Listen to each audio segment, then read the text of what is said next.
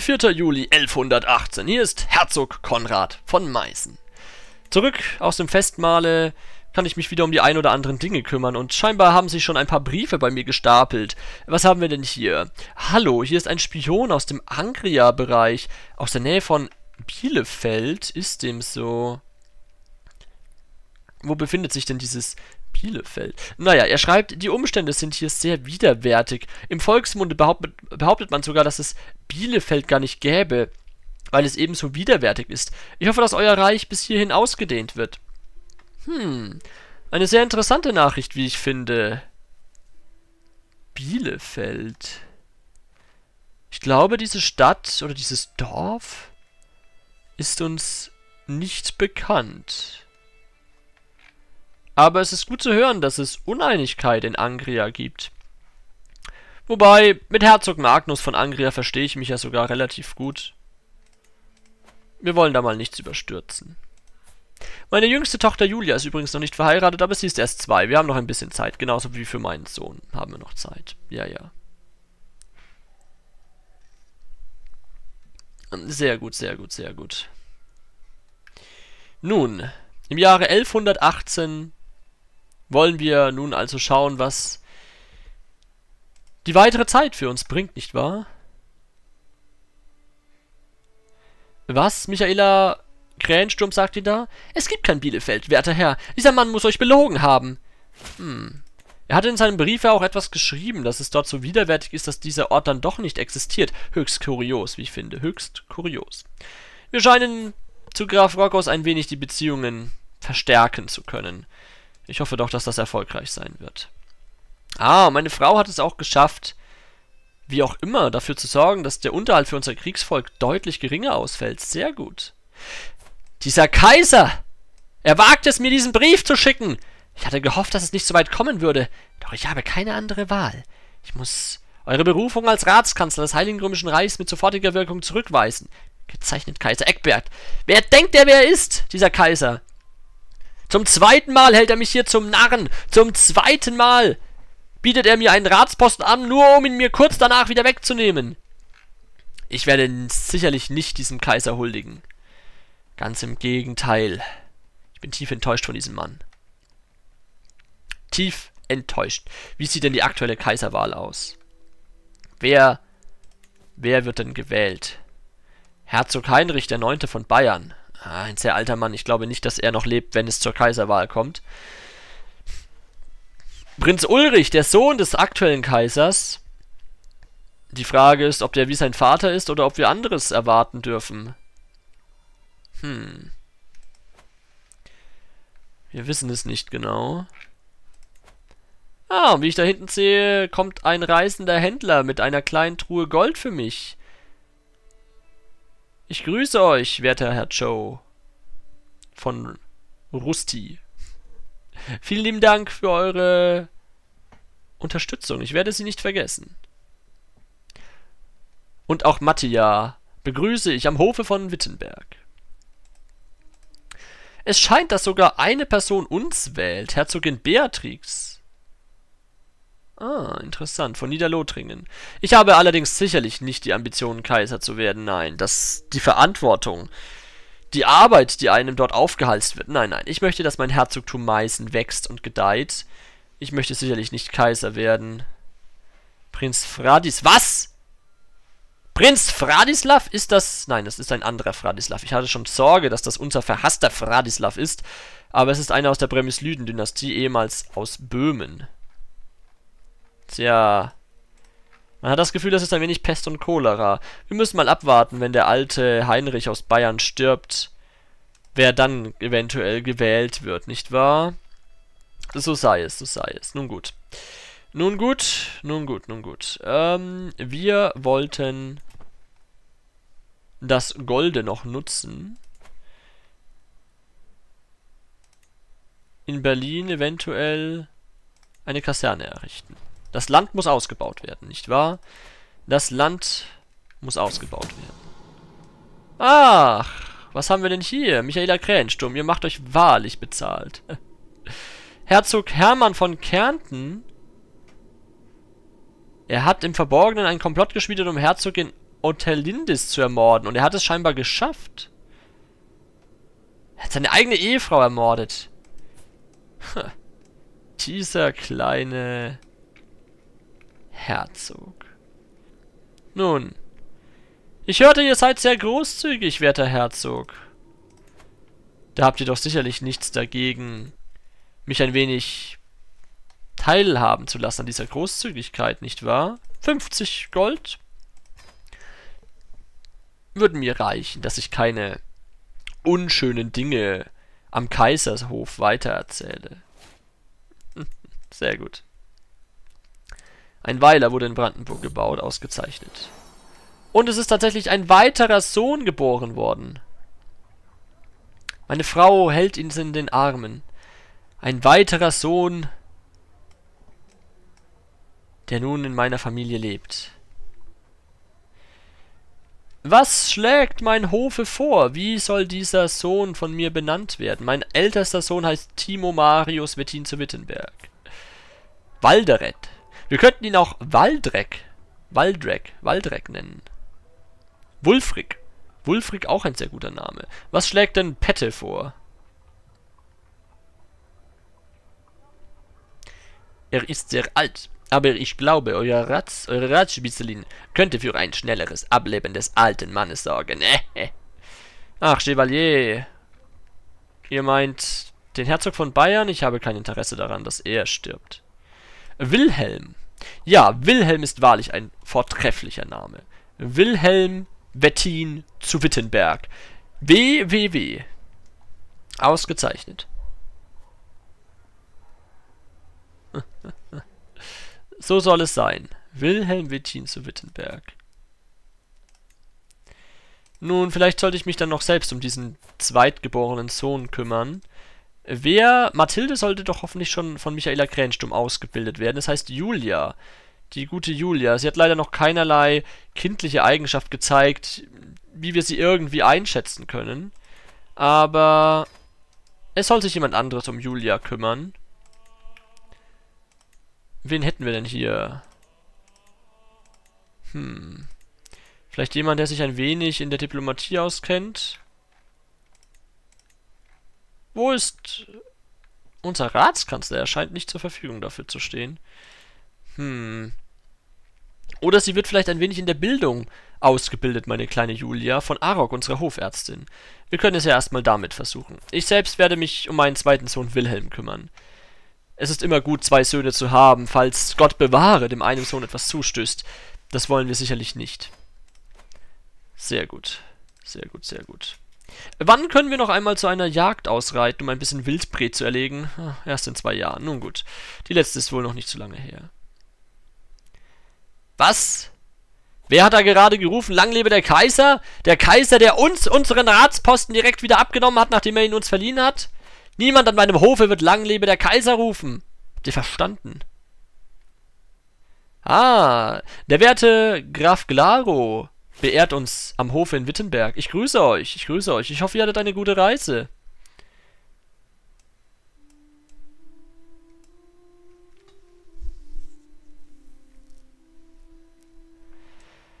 Nun,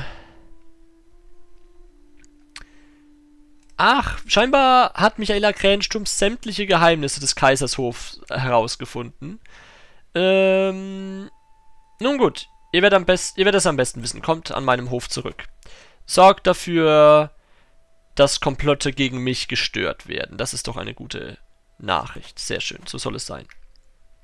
Seid mir gegrüßt, werter Herr, spricht der Graf Claro zu uns.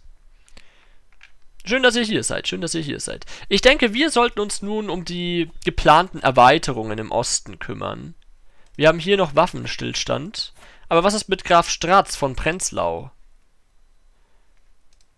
Gegen ihn können wir doch Krieg führen, nicht wahr? Einen Krieg um die Grafschaft. Ich denke, es wird ein schneller und unkomplizierter Krieg werden. Wir werden die Gebiete hier noch vereinen, wie es sich gehört. Truppen, macht euch bereit, sammelt euch im Wald an der Grenze. Ich will in voller Stärke gegen die Feinde ziehen. So ist es nun verfügt und so soll es sein. Oh, uns werden Grüße aus dem kleinen Dorfe Sulz erbracht. Sehr gut. Alonso. Avanti, avanti. Angriff. Graf Don de Leon.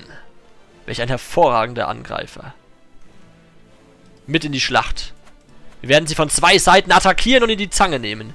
Ich mag selbst vielleicht nicht genügend von militärischem Geschick verstehen, aber Graf Don de Leon da so, dafür umso mehr. Er wird diesen Krieg sicherlich schnell und erfolgreich führen. Ah, endlich kann ich mein Schwert wieder in Eidenblut tauchen. Selbstverständlich, selbstverständlich. Werter Graf Chevalier Konstantin Claude, als einer meiner besten Ritter seid ihr natürlich mit in der Schlacht dabei. Das ist klar. Ihr seid in der Armee von Graf Alonso, an der Seite von Girold, Klokowski und Alonso selbst. Meine anderen Ritter sind Graf Don de Leon selbst, Graf Friedrich, Graf Pette der Wolf und Thomasie. Ihr wünscht, mein Herr, die Feinde des Reichs werden von uns niederknien, sagt Pette der Wolf.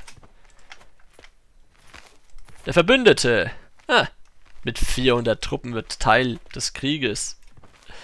Das will ich sehen, dass diese 400 Truppen ein, ein anderes Ergebnis nach sich ziehen. Oh, und bevor die Schlacht richtig beginnt, ist unser Bischof gestorben, im Alter von 53 Jahren. Wir haben aber da scheinbar einen neuen, noch besseren und, äh, ja, etwas jüngeren Bischof. Naja, 47 Jahre. Bischof Marian von Meißen. Ich bin zufrieden mit dem Mann. Sorgt er auch dafür, dass der katholische Glaube verbreitet wird? Es ist kein Anliegen von mir, aber es, nun, wird von mir erwartet, dass wir das tun. Also soll es getan werden. Gut, gut. So sei es. Schauen wir uns diese Schlacht einmal genauer an. Mir scheint, hat der Gegner einen deutlich größeren Vorteil. Woran liegt denn dies? Ja, weil er gegen Katholiken, weil sie gegen uns Katholiken kämpfen, wie es scheint, kämpfen sie noch erbitterter für ihren Glauben. Tja. Und auch der Kriegsführungswert des Gegners ist relativ hoch. Er führt die eigene Truppe an. Das ist der Graf, der selbst in der Schlacht führt. Naja, vielleicht können wir ihn gefangen nehmen. Und er ist stoisch. Sie sind stoisch. Ha! Pa! Dafür kommen wir gerade noch mit der südlichen Armee. Sie denken, sie haben vielleicht eine Chance gegen 2700 Truppen mit ihrer Verstärkung. Aber wir werden sie zermalmen mit den Verstärkungstruppen, die jetzt aus dem Süden herauskommen. Unser Ritter Girold Klokowski konnte Jindrich zu Pomorza verstümmeln. Sehr gut. Sehr gut, Ritter. Weiter so, weiter so. Und jetzt haben wir alle da. 5000 Truppen gegen diese 700. Wir werden sie vernichten. Wir werden sie zermalmen. Wir werden obsiegen. Oh, hier wurde jemand exkommuniziert, wie ich hörte. Gräfin Bertha von Maastricht. Hört, hört, hört, hört. Ah, ein Ritt, ein, ein, ein Söldner, Vans, Vans, äh, Vansaga schließt sich uns in der Schlacht an. Ich grüße euch. Kämpft für meine Truppen, kämpft für unser Ziel. Vernichtet die Ungläubigen. Sehr gut. Nun gut, ich würde vorschlagen, wir teilen vielleicht sogar unsere Truppen einmal auf. So möge alles schneller vonstatten gehen, nicht wahr? So sei es. Wir könnten sogar darüber überlegen, ob wir nicht unser Kriegsvolk ein wenig nun verbessern möchten. Ein paar mehr Mangonellen langfristig sollten uns die Belagerungen doch um einiges erleichtern. Ah, und in dem Zuge dieses Krieges hat meine Herzogin Beatrice mal wieder sehr gute Arbeit geleistet. Sie hat dafür gesorgt, dass die Aufgebotsgröße steigt in unseren Gebieten. Sehr gut. So soll es sein. Mord rufen und des Krieges Hund entfesseln. So ist es, werter Graf Claro, so ist es. Und wir sind ja immer noch im Briefwechsel mit Rogos. Mir kam zu Ohren, dass einige Gemeinde meines Reichs nach Orlamünde ziehen, wo mein Ratskanzler Graf Rogos residiert. Ortsansässige, die mich loben, auch wenn sie zugezogen sind, könnten sicher nicht schaden, seine Meinung von mir etwas zu verbessern. Hm. Aber wollen wir dafür wahrlich Gold aufwenden? Hm, ich bin mir nicht besonders sicher. Für 75 Gold? Nein, das ist es mir nicht wert. Nicht bei Graf Rogos. Ich schätze ihn, aber ich werde dafür kein Gold aufwenden. Nein. Die weitere Schlacht haben wir gewonnen. Die Belagerung geht gut voran. Sie scheinen nicht aufzugeben, diese Ungläubigen. Sie scheinen sofort wieder in die Schlacht zu marschieren. Sie scheinen einfach nicht zu wissen, wann es endet. Ah, die Holzkaserne in Berlin wurde gebaut. Sehr gut. Ausgezeichnet. Ausgezeichnet. Ach, verflucht. Graf Rockos war nicht gerade beeindruckt von meinem letzten Brief. Eine weitere Schlacht im Westen. Was? Mein Cousin Earl Edmund wurde erschlagen in der Schlacht von Wildshire? In England, nicht wahr? Ja, ja, unsere Verwandtschaft in England, die einst mein Vater geknüpft hat, existiert immer noch. Sollten sie auf ewig eure Schwerter schmecken. So sehe ich das auch. So sehe ich das auch. Wir kämpfen völlig in Überlegenheit gegen die Feinde. Was haben wir denn hier? Graf Zimislav, der Pfähler von Varnabia. Ah, unser Feind hier im Krieg. Die meisten Gemeinden, die in der Grafschaft von Ruppin leben, stammen aus der polabischen Kultur. Sie sind stolz auf ihre Tradition und es gefällt ihnen gar nicht, dass sie einem Fremden dienen müssen. Wo doch mein Nachbar Graf Zimislav ihre Kultur und Geschichte teilt. Ich werde Ihnen zeigen, wie überlegen die sächsische Kultur ist. Ja, durchaus. Hm. Ja, wir werden versuchen, dafür zu sorgen, dass Ruppin sächsisch wird. Aktuell ist es immer noch polabisch. Ha! Ich hatte Erfolg! Die sächsische Kultur verbreitet sich. Sehr gut. Sehr gut, sehr gut, sehr gut. Und auch meine Hauptbücher werden immer detaillierter. So soll es sein. Wir haben einen unserer Söldnertrupps entlassen. Hervorragend. Hervorragend.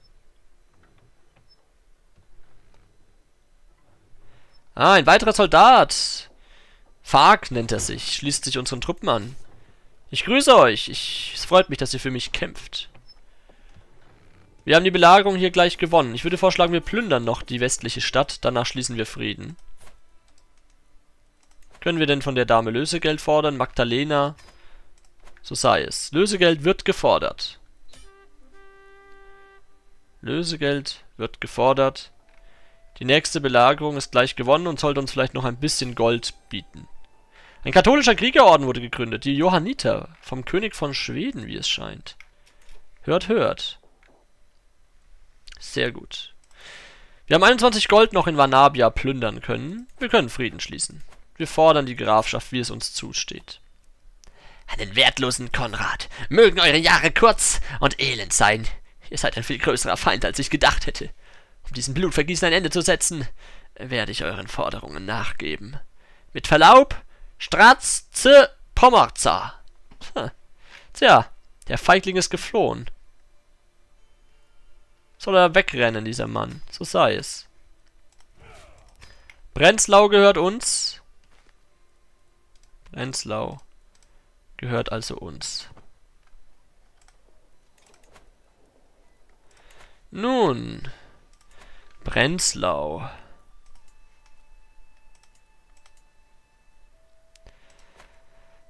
Hm. Was ist geschehen, dass wir dieses Gebiet nicht mehr selbst verwalten können? Vor kurzem war dies noch möglich. Irgendetwas hat sich verändert. Ich weiß leider nicht mehr, was genau. Hm. Meine Ehepartnerin hat uns ein Bündnis mit Spoleto im Süden gebracht. Aber ich habe das Gefühl, ich muss mich von Prenzlau nun verabschieden. Oh, Beatrice ist schon wieder schwanger. Sie scheint jetzt am Ende durchaus äh, sehr fruchtbar zu sein. Und ich scheinbar auch noch mit meinen 46 Jahren. Nun gut, wir sollten Brenzlau an jemanden vergeben. Ähm...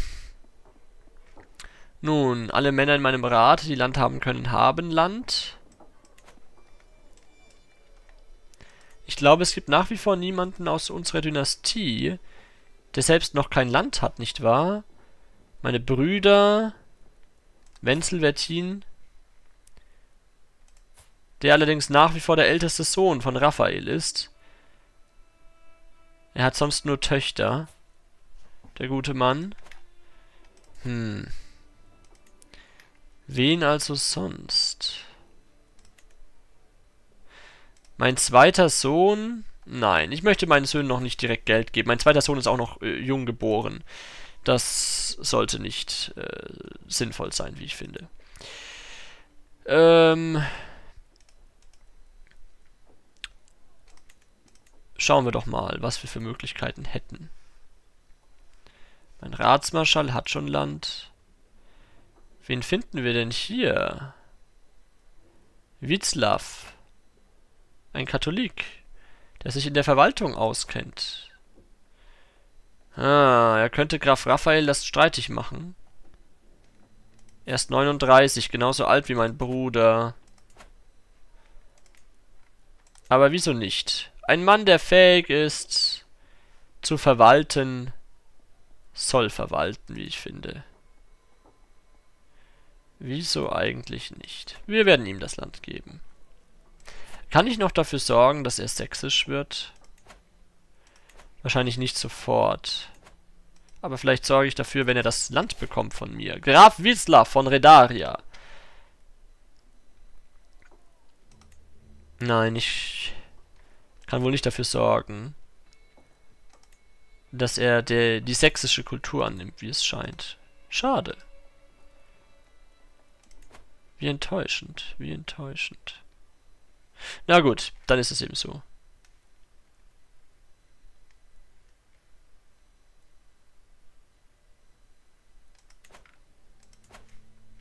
Sehr schön, sehr schön, sehr schön.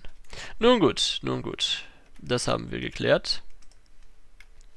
Und hier haben wir noch Waffenstillstand. Haben wir jetzt einen neuen Waffenstillstand eigentlich?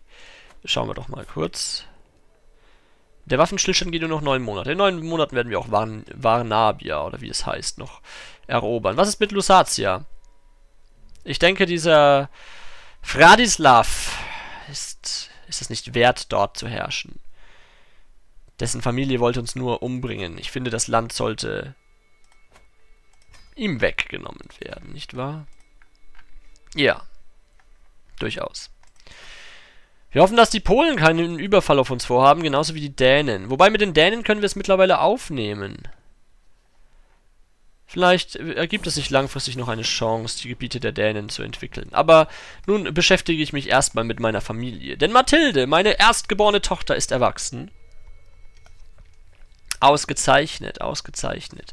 Sie scheint ein echtes Verständnis dafür zu erlangt zu haben, wie man Talente einsetzt. Sie kennt nun viele Wege, das zu bekommen, was sie will. Noch wichtiger ist jedoch, dass sie sich der politischen Implikation dieser Wünsche sehr bewusst ist. Sehr gut, eine undurchschaubare Intrigenspinnerin. Ihre Ausbildung ist geglückt.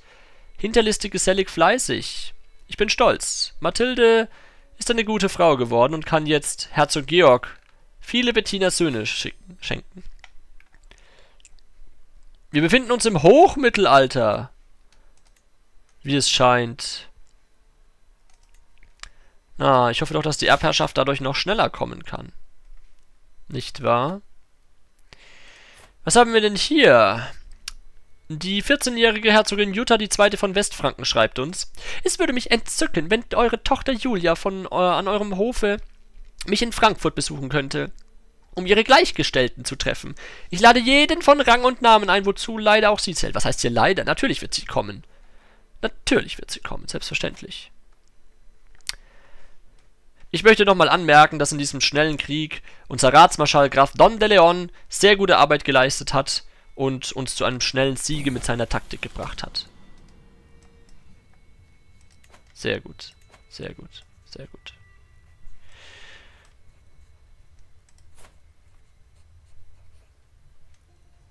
Hm. Verflucht, wir vergessen die nordische Sprache die wir einst erlernt haben. Wie traurig. Wie traurig. Oh! Du meine Güte. Julia Jutta Herzogin Jutta, die, die zweite von Westfranken, die 14-Jährige, die gerade meine Tochter zu einem Spieltreffen eingeladen hat, ist wohl bei ihrem Spieltreffen gestorben, oder was? Sie ist ertrunken! Haben sie wohl am Fluss gespielt? Äh, geht es denn dir gut, meine Tochter, Julia? Ich meine, sie ist erst vier. Ist alles in Ordnung bei dir? Herrisch ist sie, hm. Naja, mit ihr scheint ja alles in Ordnung zu sein fürs Erste. Na gut. Herrisch. Sie scheint sich also für die Verwaltung oder die Kriegsführung zu interessieren. Ich verstehe. Nun, ich meine, ich muss mich zeitnah um meinen Sohn kümmern, dass er eine bessere Ausbildung dann noch erhalten soll. Eine Prüfung Gottes, ja, für, für wahr, für wahr. Ah, Don de Leon ist geehrt, wie er mir zukommen lässt. Sehr gut. Verlobte können heiraten, einverstanden. So sei es. Meine älteste Tochter ist jetzt nach Schweden gefahren mit ihren 16 Jahren und wird dort leben und lieben, hoffe ich doch auch, ein wenig. Die polabische Kultur. Was? Rockos ist nicht sächsisch? Ah. Na gut. Ja, die Polaben sind gute Menschen. Ich geb's ja zu. Ein weiterer Sohn. Nun, ich möge mich ja darüber freuen, wenn ich doch nicht wüsste, was alles passiert, wenn wir viele Söhne haben. Ich verstehe mich vielleicht auch nicht unbedingt mit all meinen Brüdern. Und mein Vater hatte dasselbe Problem. Aber gut, wir dürfen uns dennoch freuen. Ein dritter Sohn, ein stolzer Spross in der Wettin-Dynastie. Meine werten Höflinge, meine werten Vasallen. Vorschläge! Wie soll mein dritter Sohnemann heißen? Ich bin offen für Vorschläge. Was meint ihr dazu? Es ist nichts Besonderes bei ihm bekannt. Bei diesem Manne. Don de Leon. Ein Sohn. Glückwunsch. Vielen Dank, Don de Leon. Vielen Dank, vielen Dank. Ich würde den Namen Jal vorschlagen. Bei euch heißt es, glaube ich, Larl. Ihr meint Karl. Karl könnten wir tatsächlich uns überlegen. Karl Wettin zu Wittenberg. Wäre durchaus ein stolzer Name. So soll er Karl heißen. Einverstanden. Auch Siegfried wäre ein guter Name gewesen. Meine Glückwunsch zu eurem Sohn, mein R. Danke. So, es scheint, dass der Papst mal wieder freudig darauf hinabblickt, dass wir gegen Ungläubige kämpfen. Er möchte einen Beitrag leisten, so sei es. Wir nehmen das Gold des Papstes gerne für unsere Zwecke entgegen. Sehr schön, sehr schön, sehr schön. Die Gräfin scheint wieder ein bisschen Gold zu haben. Die 21 Gold werde ich ihr abknüpfen. Sehr schön. Nun gut, in Kürze können wir hier den nächsten Krieg erklären, noch wenige Monate.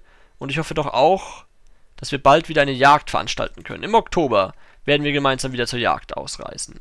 Dann war es dies erste Mal mit diesem Chronikeintrag. Und wir werden sehen, was uns die Zukunft bringt.